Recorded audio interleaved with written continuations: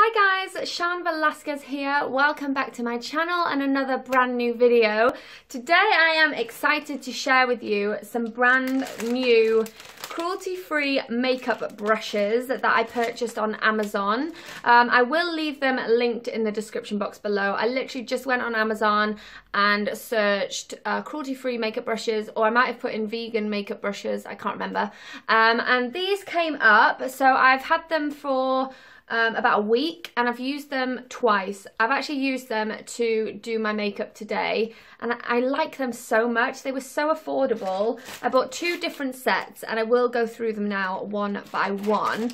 But basically, most of the makeup brushes I had were from MAC and MAC use um, real animal hair in their makeup brushes. And as we are now cruelty free we will not be using these makeup brushes full of animal hair any longer um, I also do have a Bobbi Brown one in there because Bobbi Brown is also not a cruelty-free brand.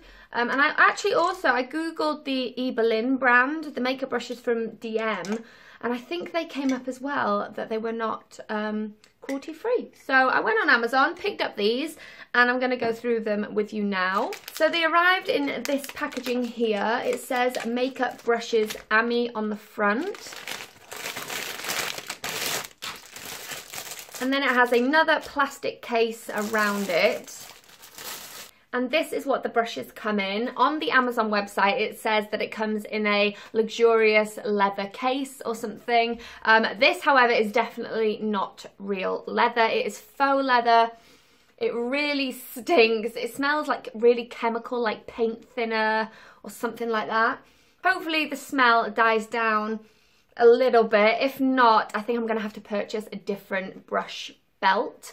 Um, however, it has a snap on the front and then it opens like so. Then it has this flap at the top which just protects the brushes and um, stops uh, the makeup from, you know, the leftover powder on the brushes, um, getting everything dirty. These are the brushes. It comes with 18 different brushes, if you can see there. And these are just so affordable. I think for the whole set, I either paid $13.99 or $14.99. Definitely under 15 euros for 18 brushes, which is fantastic. I'm going to start at this end and show you the brushes one by one and what I personally will use the brushes for. First we have the large fan brush and the fan brushes come with an extra plastic covering which is great because it helps keep the shape of the brush uh, which is really important. This is what the brush looks like. It has a silver and gold handle design as do all the brushes and it's just so, so soft. So I've actually been using this. I saw NikkieTutorials using this technique and I also saw iluvsarahii using this technique and I've actually been using this for my contour because I think it's better better than using a more small compact brush because you can build up the colour gradually um, and it just really gets right in the cheekbone perfectly. Really enjoyed this for contour um, and like I said it's really soft and does a really good job. Next we have the big powder brush. This one also comes with an extra plastic casing um, and this is, they are a bit dirty because I used them uh, before filming this video um, just so I could show you what I use them for. So yeah, this is the biggest powder brush in the set. Again, it's very, very soft and this would be perfect for either um, foundation powder to set your foundation, um, but I use this for my bronzer.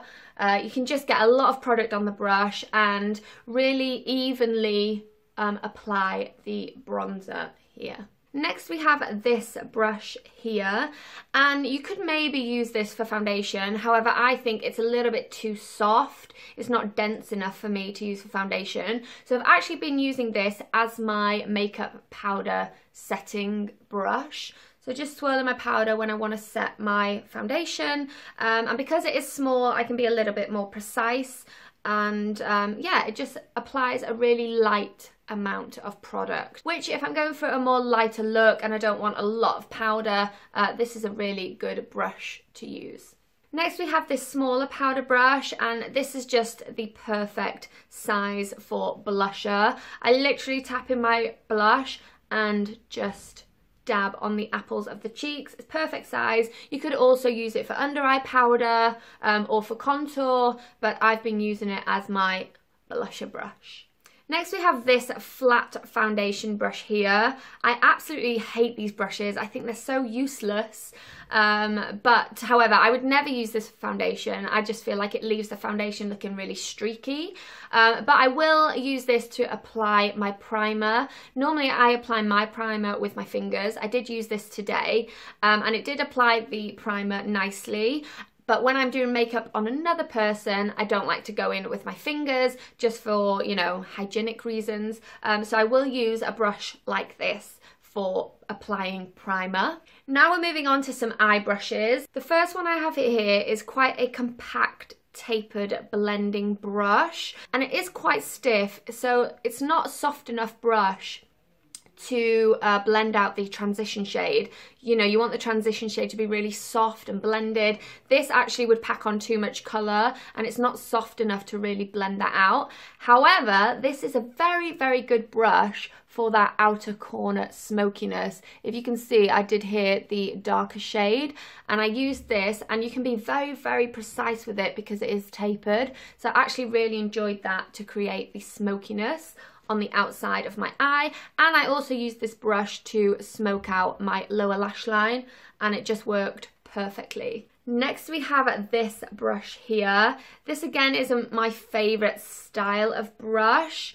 Um, it's quite thin and again a little bit stiff but I did use this for the more reddy shade. Uh, I applied it here um, again, you can be quite precise in the crease because it is quite thin. So I applied the, the redder shade here and then I took a blending brush um, and blended that out. Again, you can't really blend out too well with this, but to actually apply the colour initially to the crease is quite good and then take a fluffier brush to blend it out. Next we have this large shader brush and you can use this to apply eyeshadow to the lid to pack on the colour.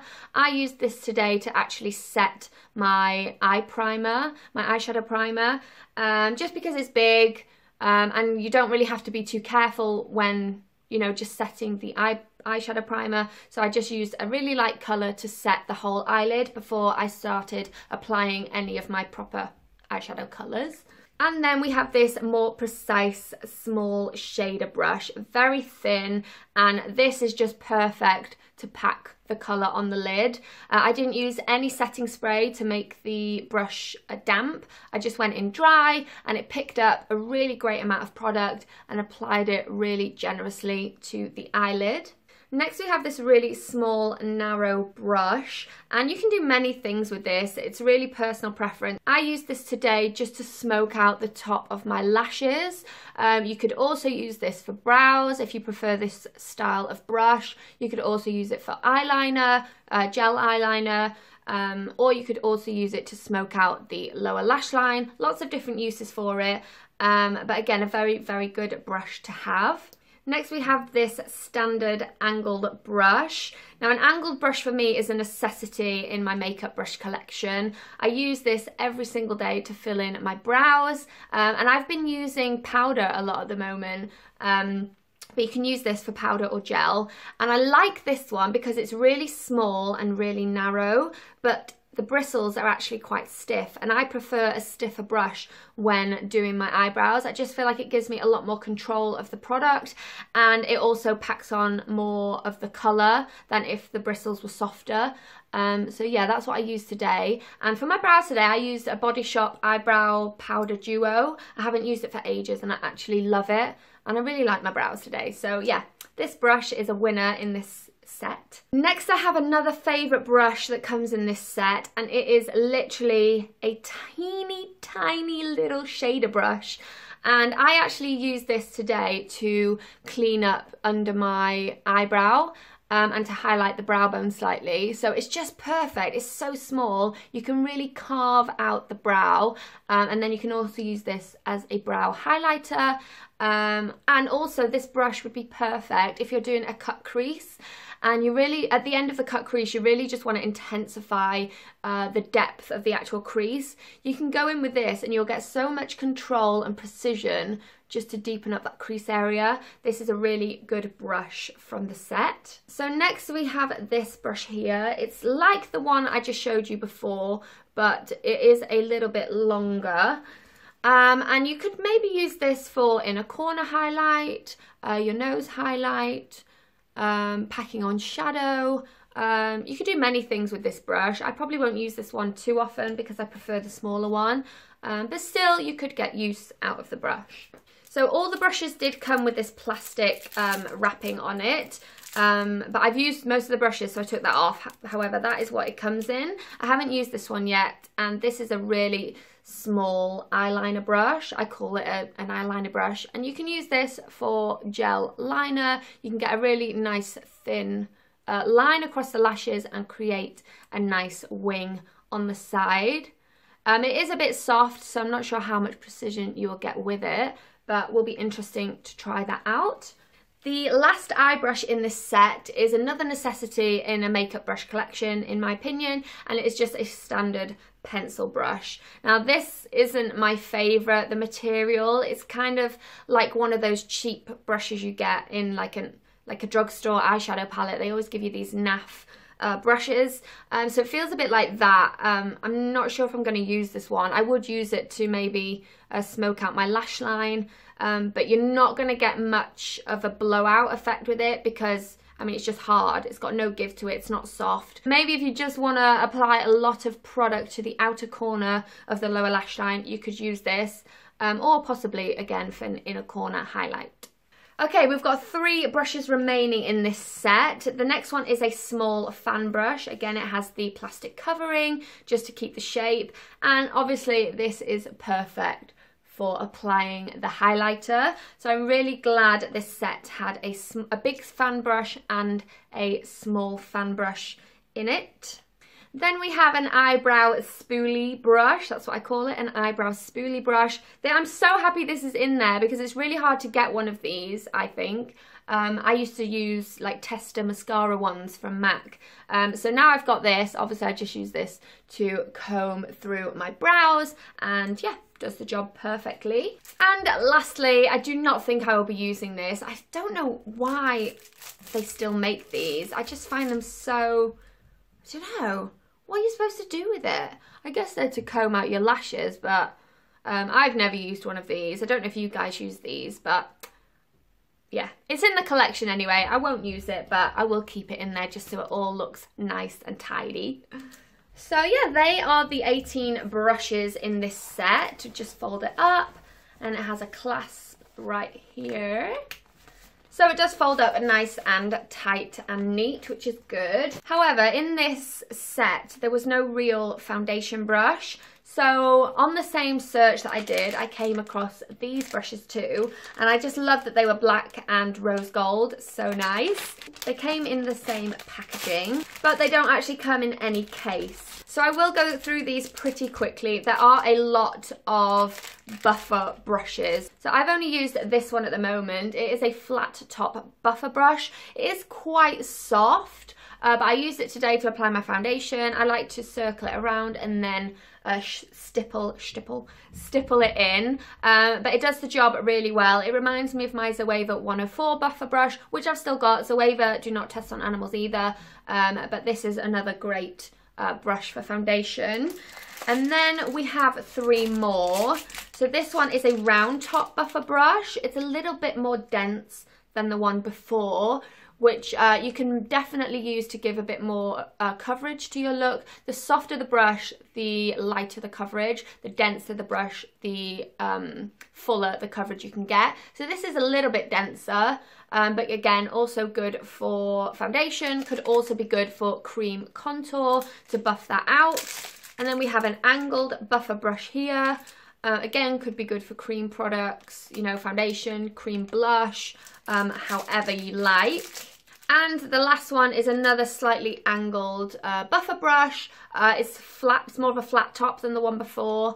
Um, but yeah, these are all just great. You can't get enough buffer brushes. You could also use this if you want like a really full coverage. You could use this in your uh, powder um, and use a makeup powder on top of foundation to, to uh, buff that in and then you'll get a really full coverage finish. It also came with this great tapered brush. Um, and I really like this brush. I used this today to set under my eyes because it is so tapered at the top. You can really get right close to your lashes um, and really set that concealer into place. Um, I really like this brush. Look at the look at the product. uh, but I really like this brush and uh, yeah, it's really soft and feels really good on the skin. So we have this one here, which is very tapered at the top and it is quite stiff. I used this today for my nose contour.